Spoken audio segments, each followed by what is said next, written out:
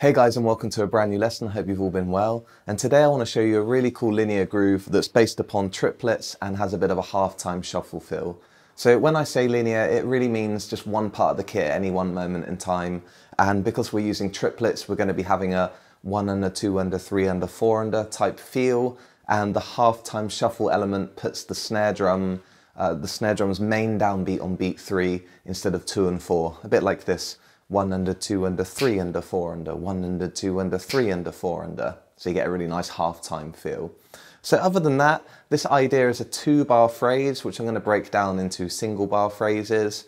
And each bar will contain 12 hits, which means you do 12 in bar one, 12 hits in bar two, and then when you sum both bars together, you end up with 24 hits to create a really nice 24 hit linear combo based around triplets. So I hope you got all of that. Um, but just in case you didn't, you can download the PDF in the description below and get ready to follow along.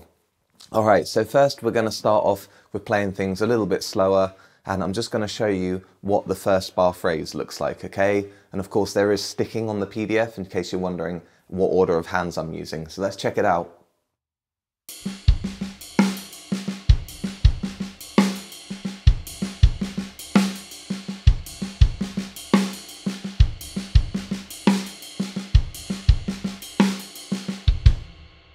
Okay, next I'm going to show you at a similar tempo what bar two would sound like. So again, just make sure you've got the sticking down and you'll be absolutely fine. So check this out.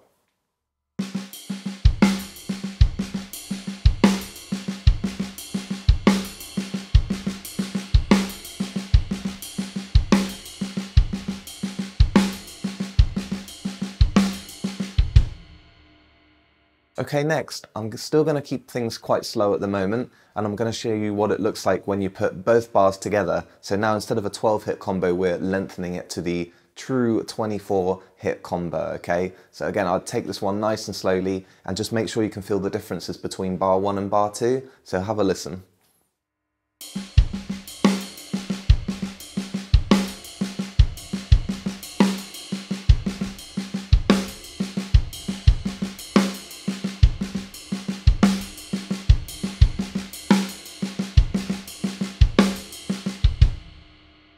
Great, okay, so this type of groove, it does sound really, really nice when you up the tempo. So it'd be wrong of me not to show you it without a little bit of speed behind it. So here we are, we're gonna ramp it right up and listen to the whole two bar phrase. Here we go.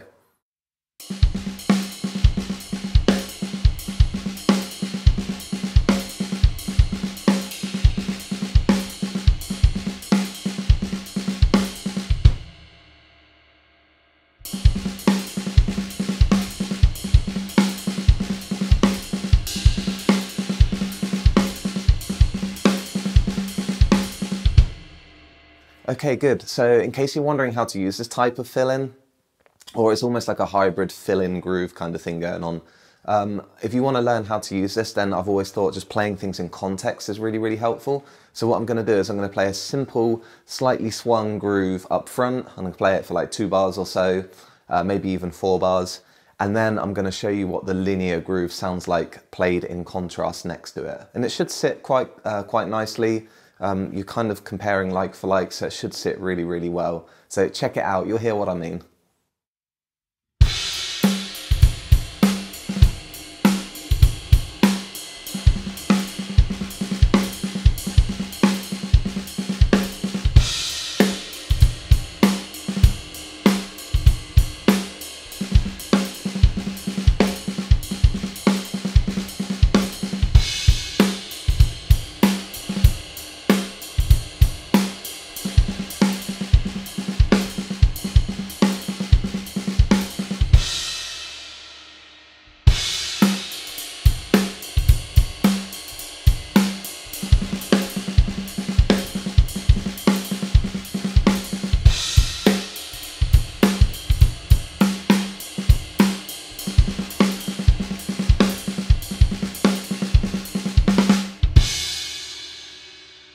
Okay, great. And there's my linear triplet groove for you guys today. It's ultra fiddly, so just make sure that you do take it slow. Try not to rush ahead with this one. Just try and get the muscle memory down of uh, the interesting sticking pattern that it's using.